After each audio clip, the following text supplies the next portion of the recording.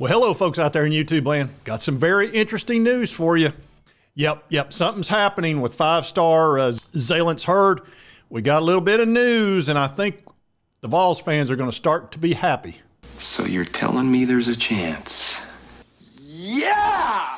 All right, we've all been waiting to hear about Zalance Heard, the five star offensive tackle out of Louisiana. He was the number one uh, recruit for LSU last year, and he already played one season. He played quite a few games and played well.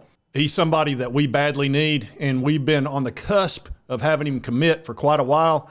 But just today, you can see On3, right here, the predictions. Pete Nakos just predicted Zalance Heard would be uh, committing to the Vols.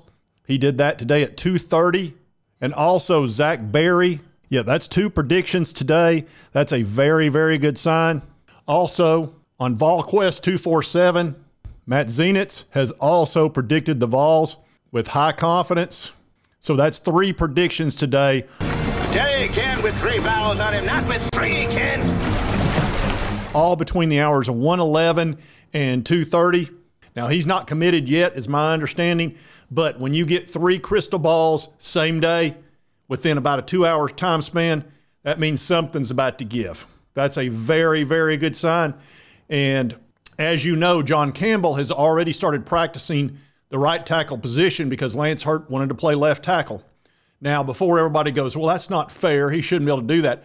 That's not fair. Don't raise your voice to me. When John Campbell came to us from Miami, he wanted to play left tackle. Darnell Wright, a five star offensive lineman, moved from left tackle to right tackle in order to make room for John Campbell. So it's more than fair that John Campbell did the same thing that uh, Darnell Wright did for him. And oh, by the way, Dar- Darnell Wright got picked number 10 in the NFL draft and is a multimillionaire now. Right tackle pays very well in the NFL. It's a super important position. There's not that much difference in the NFL in, in, in money for the simple fact that you've got to protect that quarterback both sides, and you also need to protect him from his lead because when he's throwing slants, if there's somebody in his face, that's a very important play.